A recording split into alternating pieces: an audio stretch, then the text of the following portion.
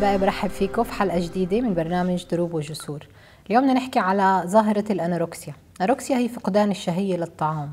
إيه، برحب بالدكتورة كريستين دكور أهلين نردين كريستين فعلا هذا موضوع اللي عم بيصير حوالينا بين الفتيات ويمكن كمان الفتيان هسه بنحكي أكثر إيه، توجهت لنا إيه، معلمة بمدرسة اللي بديت تحس إنه في ظواهر لإحدى الطالبات لهذا الموضوع.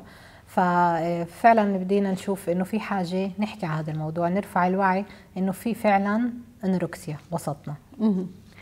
إيه الأنوركسيا هي حالة اللي فيها إيه أول شيء بتصيب البنات أكثر من الصبيان. مم. عادة بتصيب البنات من جيل 16 ل 18 سنة هو جيل المراهقه جيل اللي اللي بيبنوا فيها فيها البنت بتبني فيها هويتها. بنشوفها بأعظم الحالات عند الفتيات وقليل جدا عند الشباب بس برضه موجودة هناك.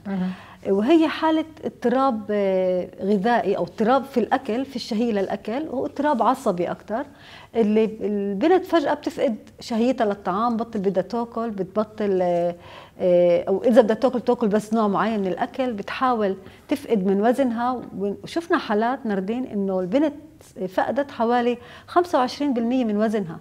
يمكن حتى تفقد 20 كيلو خلال فترة قصيرة جداً.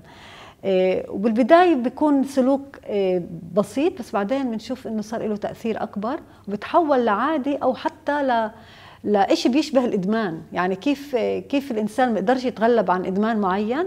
إذا هو مدمن على المخدرات بصير محكوم تحت تحت الإدمان هذا. البنت اللي عندها هاي الحالة أو هاي الظاهرة كمان بتصير زي مدمنة لإنه ما تأكلش لهالدرجة يعني. حتى لو هي جوعانة ما بدها تأكل. وصعب تتوقف عن هذا الشيء. يعني خلص بصير شيء قصري غصب عنها إنه هي بدهاش تاكل. يعني عم نحكي على وضع زي ما قلت بين 16 أو هاي فترات المراهقة اللي هو بيبدأ كاضطراب نفسي أو رغبة يمكن لتنقيص الوزن. مزبوط. واخدها لمحل اللي هو بصير محل مرضي اللي هي بتقدرش حتى تتسلط عليه يعني مزبوط. بتقدرش تغيره. طب كيف إحنا نميزه؟ يعني في ميزات لهي البنت؟ آه، طبعا. أول شيء آه، واحدة من الصفات تبعت آه، البنات اللي بهاي بهاي المشكلة إنه عندن رغبة آه، تعال نقول رغبة مستحوذة عليهم للكمال بيرفكشنست يعني بدها تكون كاملة مثالية. وهذا طبعا بيجي من من دوافع أخرى مش رح أحكي عنها هسه رح نحكي عنها لقدام. لكن بنشوف كمان إنه البنات هدول بيصلوا لجسم ضعيف كتير عن جد مرات حتى فيش فيش دهن على آه، تحت الجلد. العظام بتبين. بالضبط هيك. ومع هذا البنت بتكون حاسة حالها ناصحه ولازم تنزل بالوزن. مم. يعني لهالدرجة الخلل كمان صار بيكون نفسي هذا الخلل النفسي التشويه يعني حتى بنظرها هي شايفة نفسها بالمراية مش الواقع اللي موجود. مزبوط. وبعدين آه، فيش عندها شهية للطعام وإذا أكلت بتتقيأ بطريقة آه، آه، يعني بتكره حالها على التقيؤ آه، هي بتروح إجباري. تتق- آه مم. آه، بعدين آه، بيكون عندها كثير اهتمام بالطعام بس بتاكلش. يعني هي مهتمة قد إيه في سعرات حرارية في الأكل إيش أنواع الأكل. حتى تختار وتنقي الأكل هو بيساعدها آه، تخسر بالوزن. بركزوا كمان على بدنتهن عادة حتى يعالجوا مشاكل أخرى. يعني هذا الموضوع عادة بيكون يغطي وراه مواضيع أخرى اللي هي عم تحاول تعالجها. ولكن محل محلات فتاة من هالشكل بتكون فقدت السيطرة في جوانب حياتها فهي بتحاول تسيطر على شيء ممكن تسيطر عليه. مثلا. يعني نقول نقول في مشاكل في البيت بين الأم والأبو. وهذا واحد من الأسباب اللي ممكن يساعد البنات يصلوا على هاي ال- الحالة. والبنت فيش إلها أي تأثير على الوضع مع أم وأبوها يمكن الأهل في حالة شجار مستمر يمكن إيه، تحضير للطلاق ما. بتقدر آه. تغير الظروف فهي فقدت السيطرة على هذا الوضع الحل تبعها انها تسيطر على الشيء هي بتقدر تتحكم فيه مم. وأكثر شيء ممكن تتحكم فيه هو جسمها وإيش تفوت على تمها وإيش تطلع منه مم. يعني كريستين الوضع بصير إنه المحل اللي هي ما بتقدرش تعالجه بقواها الطبيعية بفكرها باللي هي شايفته بعالمها عالم تاني بتهدم فهي بتروح بتتقوقع في نفسها إنه أنا شخصي أنا بسيطر عليه وأنا بكون سيدة الموقف بهذا المحل. مزبوط. مم. مزبوط. بنشوف كمان الحالة هاي موجودة عند فتيات مش قادرين يشعروا إنهم مقبولات في المجتمع تبعهم أو شعارات بالرفض. فبتحاول إنها إيه، تجمل حالها حتى تكون مقلوب مقبولة. آه. بتحاول تنزل بالوزن حتى تكون مقبولة في الم- بالمجموعة اللي هي اللي منتمية لإلها. إيه، إيه، ممكن كمان شيء بميز هدول الفتيات إنه هن بيحبوا إنجازات مرتفعة بيقبلوش في الوسط. فمهم لها إنها تكون في التوب كماليات. آه. بالضبط الكمالية هاي الموجودة عندها. بتخليها آه، تصل لهذا الخلل العصبي إنه هي بدها تكون كماليا كمان من ناحية آه، مظهر جسمها من ناحية إنجازاتها الرياضية. بتلاقيها كثير كمان بيعملوا رياضة وبيعملوا رياضة أصعب بكثير من إيش حتى الجسم يتحمل حتى يخسروا سعرات حرارية إضافية. أوه. فكل شيء البنات بهذا الوضع بيعملوه هو حتى ينزلوا بالوزن ويبينوا بعينيهم يعني يمكن في عينين الآخرين هي مبينة زي المومياء لكن في عينين حالها هذا المحل البيرفكت فهي بدها تصل لهذا المحل. إيه أنا بعرف إنه كان في كتير كمان اللي عملوا فحص مع هدول البنات. إيه، كتير هدول البنات بتميزوا بإنه عندهن كتير كره لنفسهم مزبوط يعني هي بتكره جسمها بتكره شخصها اللي موجود. وفي كتير قالوا أنا بدي أضل أنزل انه ما حدا يشوفني. مم. فهذا كمان بيحكي على وضع نفسي اللي هي مرقته اللي هي بدهاش حدا يشوفها بدهاش إنه ينتبهوا لها. فأنا بدي أضل أصغر تابطل أبين. هذا اضطراب نفسي أكيد كثير صعب. أوكي أحبائي إحنا راح نطلع فاصل قصير وبنرجع نكمل من هاي النقطة.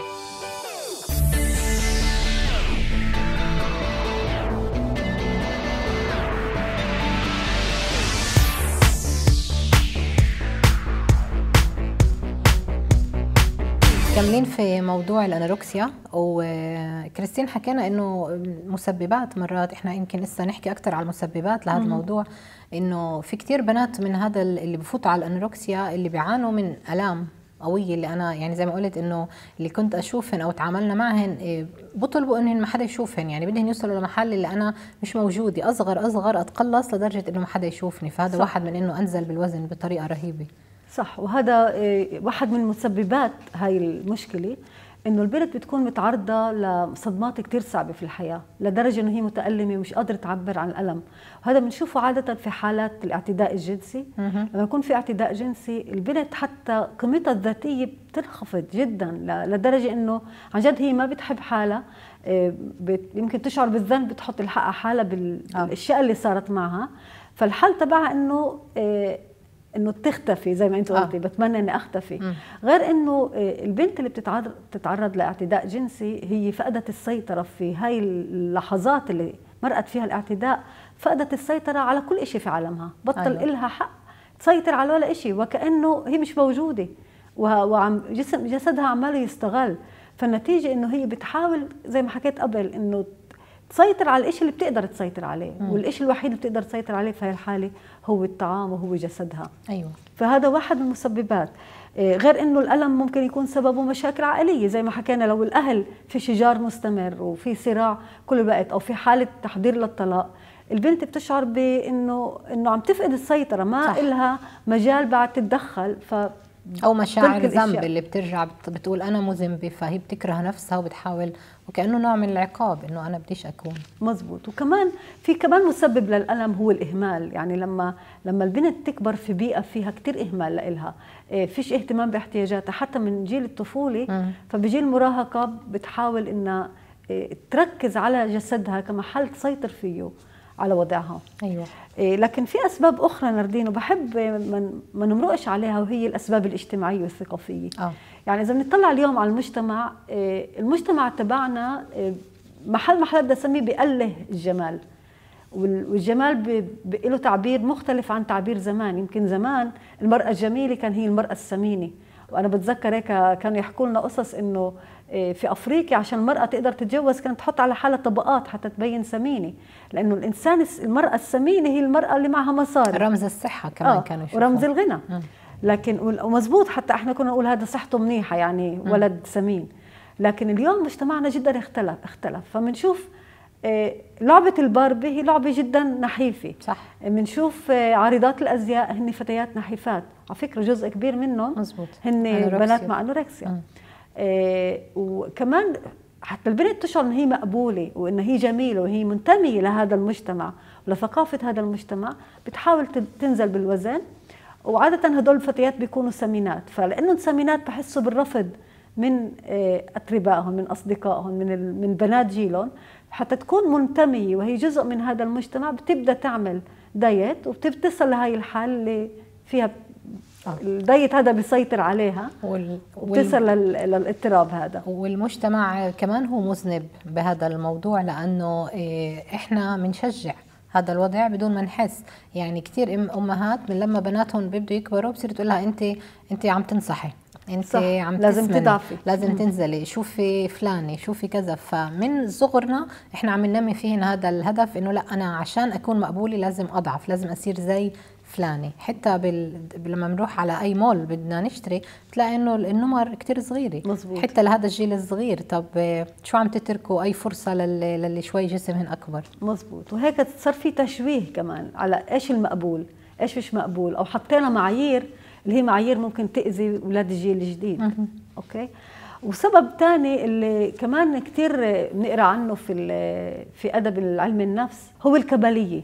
وهذا عادة بنتقل من الأهل. وأنا بتذكر هيك اشتغلت مرة في في مستشفى اللي كان فيه بنات تنتين توأم. توأم هن بنات لأم وأبو أطباء يعني أيوة. يعني بمستوى اجتماعي جدا عالي. ولكن ثقافي. بسبب وثقافه عالي. والأهل بدهم بناتهم يكونوا زيهم. فكان طلب الأهل منهم كثير كبير إنه ادرسوا انجحوا ودائما لازم يكونوا بعلامات عالية. التوقعات العاليه آه بدهم اياهم مثاليات بدهم اياهم كماليات. البنات التنتين فاتوا على هاي الحالة واليوم هن توفوا يعني واو. وصلوا لمرحلة حتى الطب ما قدر ما قدر ينقذهم يعني بتذكر واحد من البنات كانوا يطعموها يطعموها الشوربة وبس الممرضة تدير راسها عنا تحط شعرها بصحن الشوربة حتى يمتص مي قد ما ممكن ويكون أقل اكل يفوت على جسمها. هن بيقاوموا هذا مهم كمان نحكي إنه هن لما وصلوا لهذا المحل هن بيقاوموا العلاج. يعني هن ما بدهم حدا يعالجهم هن مقتنعات إنه إحنا الصح. يعني إنه أنتوا انه أنا عم بعمل الشيء الصح فحتى لما بدك تساعدني هي بتقاوم وبترفض هذا الموضوع. صح. وللأسف في كمان آه، بإدراك هاي البنت إنه عشان تكون كاملة عشان تصل للكمالية اللي هي اللي عم تبحث عنها آه، هي لازم تكون ضعيفة نحيفة جدا. بتلاقيها كمان كثير مرات هن بيكونوا متفوقين بأمور مختلفة. يعني الفتيات هدول اللي شفتها بالمستشفى إيه، كانوا كثير فنانات. واحدة منهم تعزف بيانو واحدة منهم متفوقة إيه، في اللغات وفي الرياضيات مزبوط. يعني. عندهم معطيات جدا عالية من ناحية ذكاء من ناحية مقدرات. لكن نفسيا هن محطمين. أيوه. يعني هي ممكن كثير اجتهدت حتى تنجح في المدرسة لكن نفسيا كانت مريضة محتاجه لمساعدة.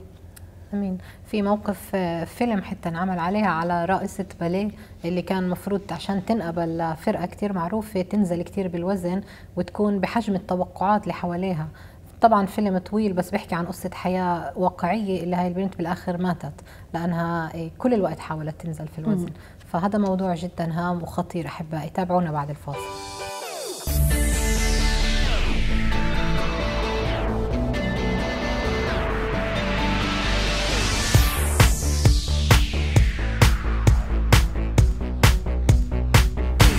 إحنا مكملين احبائي في موضوع فقدان الشهية أو الانوركسيا اللي هو مرض خطير. عم نقول كريستين انه شفنا مواقف واوضاع معروفة لناس اللي وصلوا للموت. هاي الفتيات ضعفوا حالهن أو جوعوا حالهن لحد الموت.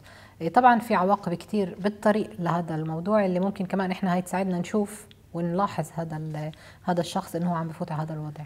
مزبوط. أول شيء إيه، تعال نقول العواقب بتصيب الإنسان في كل جوانب حياته. ناحية جسدية ناحية عاطفية ونفسية وكمان من ناحية روحية. وإذا بنبدأ بالوضع الجسدي اللي أكثر بنشوفه. اللي هو أكثر مرئي وأكثر ملحوظ وملموس. بنشوف إنه هدول البنات بيفقدوا آه، كيلوغرامات كثير كبيرة بفترة قصيرة جدا. يعني ممكن تفقد 25% من وزنها. أيوه. بنلاقي إنه صار في خلل هرموني عند البنت. فممكن تنقطع العادة الشهرية بين 16 ل 18 يعني جيل جيل البلوغ. بنشوف آه، كمان حالة فقر الدم. ليه؟ أنيميا بتصير لأنه فيش مواد غذائية كفاية. آه. قلنا البنات هدول مشغولات جدا بالأكل بس مشغولات اي نوع أكل يأكلوا حتى مشغولات ما يدخلوهوش على الجسم بالضبط. آه. إيش ما يدخلوش على الجسم آه. فهن بدوروا على أكل فيه سعرات حرارية جدا واطي.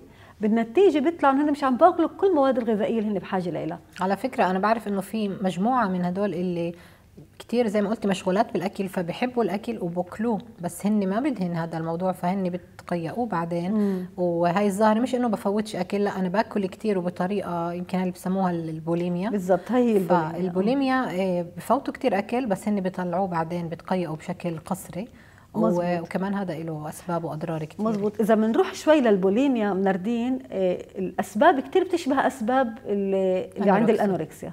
يعني من ناحية عاطفية من ناحية احتياج من ناحية سيطرة على على وضع معين سيطرة على ظروفي.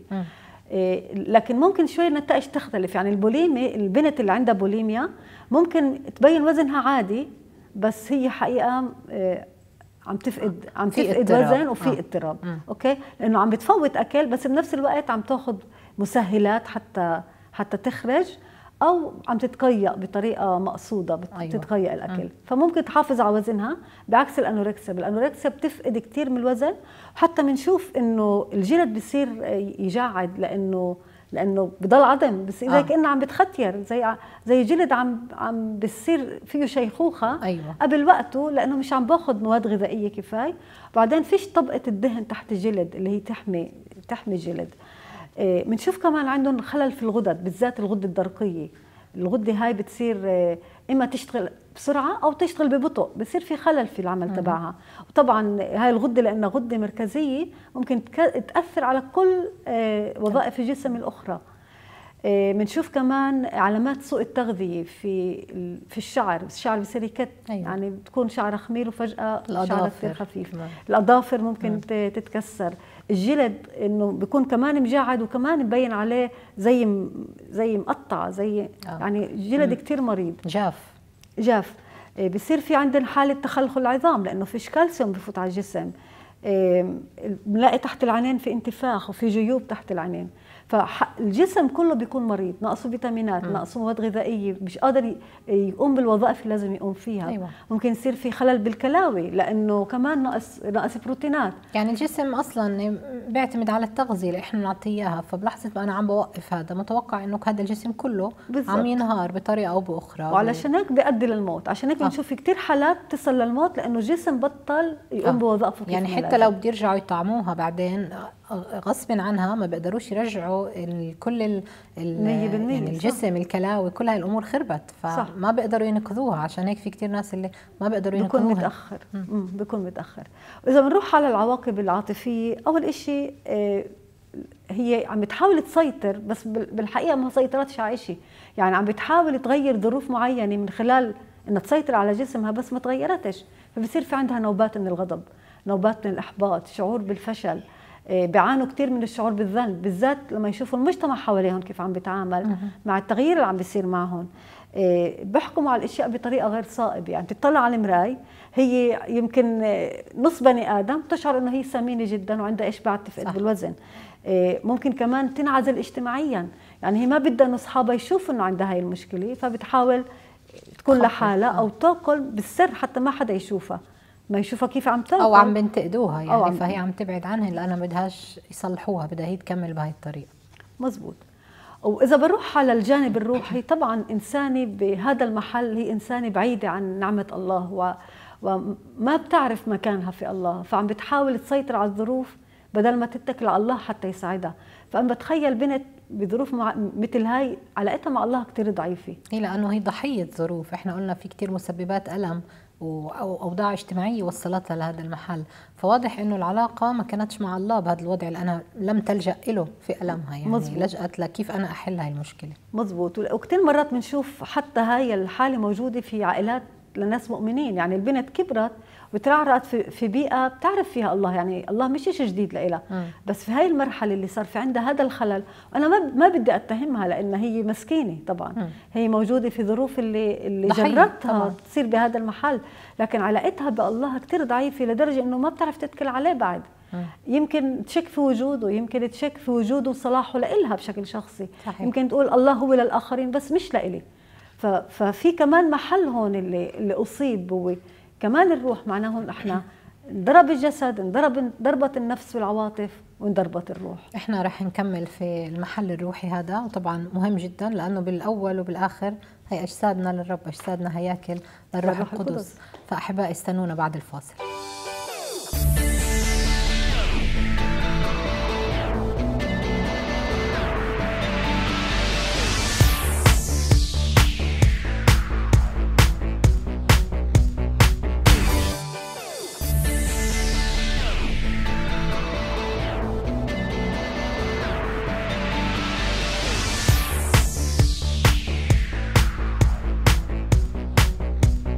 احباء إحنا مكملين في موضوع الانوركسيا وكريستين الموضوع الروحي اللي بدينا نحكي فيه هو يمكن أهم الأوضاع هون لأنه هاي الإنسان يحتاج إلى إنقاذ.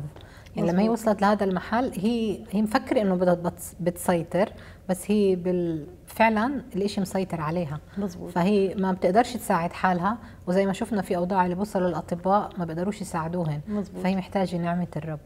صح. ودائما لازم نتذكر إنه الله موجود ومسيطر على كل شيء. آمين. الله له السلطان على ظروفنا حتى لو لو حالة الاعتداء اللي هي مرأتها أو الإيذاء الجسدي أو إيذاء نفسي أو عاطفي الله كان موجود في هذيك الم...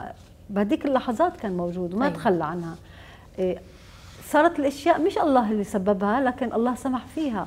وعنده لله للموت مخارج. هيك الكتاب المقدس بيقول. إيه منيح نتذكر كمان إنه حالة الانوركسيا هي حالة إيذاء جسدي. يعني كأنه الإنسان عم بينتحر عم بيأذي حاله عملية انتحار. والكتاب المقدس بيقول إنه أجسادكم هي هياكل لروح القدس وأجسادنا هي مفروض تقدم كذبيحة حية مقدسة مرضية قدام الله. يعني إحنا ما إلنا الحق. كيف ما إحنا بنقول ما قلناش الحق ننتحر؟ نفس الشيء ما قلناش الحق نأذي جسدنا. أيوة. فعمليا هي محل محلات هي خطية. لكن أنا برجع بقول الإنسان الموجوده في هذا المحل هي إنسانة بحاجة لمساعدة بحاجة تعرف. إنه إنه الله بده ينقذها والله بيفهم ألمها.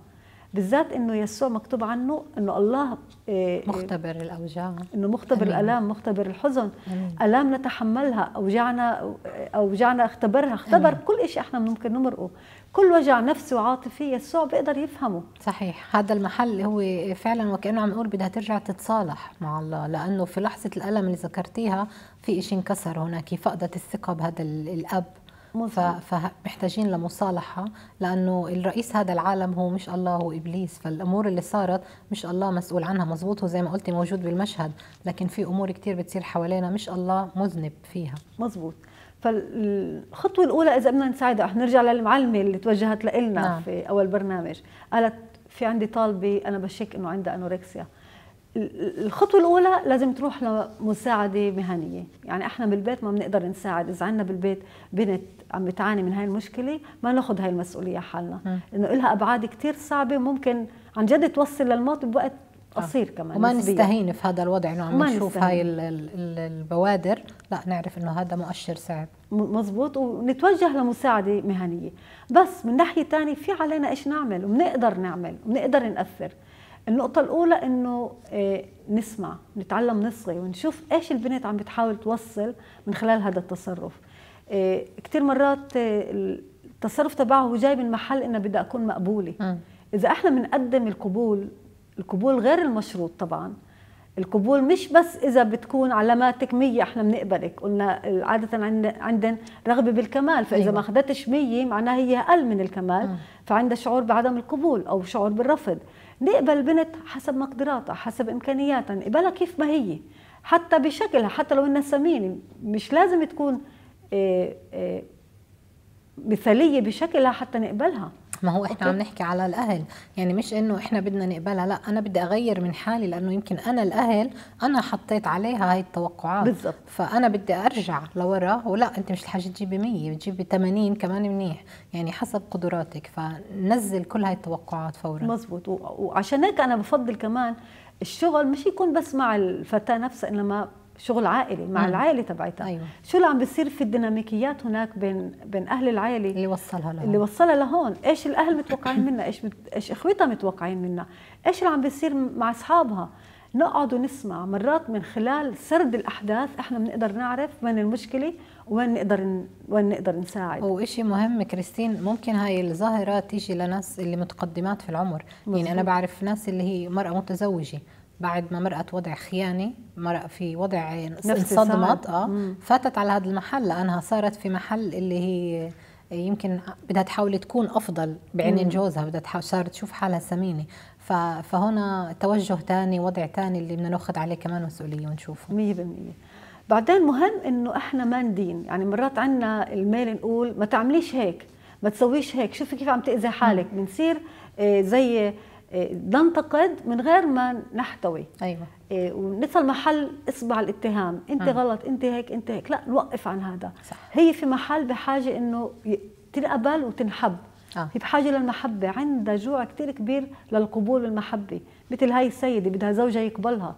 وإلا لو انها هي كاملة كفاية ما كانش راح لامراه أخرى آه. هذا ف- تفكير هيك بتصير. تحلله يعني مهم إنه نفهم إنه هي مش بمحل عقلاني اللي أنا صح. بدي أحكي زي ما قلت أقول لها بتعمليش هيك بس هي مش شايفة الأمور بالعقلانية تبعتي هي عم تطلع على المراية شايفة مرة سمينة بينما هي يمكن 30 كيلو مزبوط. فبقدرش أحكي تشويه. للعقل آه. أنا مجبورة أحكي للعاطفة لل... للاحتواء اللي حكيت عنه مزبوط وبعدين نساعد البنت هاي تتكل على الله وتعرف مكانها عند الله لما إحنا نعرف قيمتنا عند الله وكيف الله بيقبلنا والله بحبنا وبغض النظر على إيش هي إنجازاتنا كيف هو شكلنا إيش حتى إيش الظروف اللي مرقناها الله قبلنا.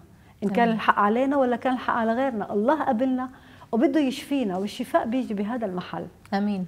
وإحنا بالنهاية نذكر إنه الرب بيقول يعني لما بخاطب ال- الكنيسة وبخاطب كل مؤمن ومؤمنة بهاي اللحظات بقول لها أنت جميلة يا حبيبتي ليس فيك عيب.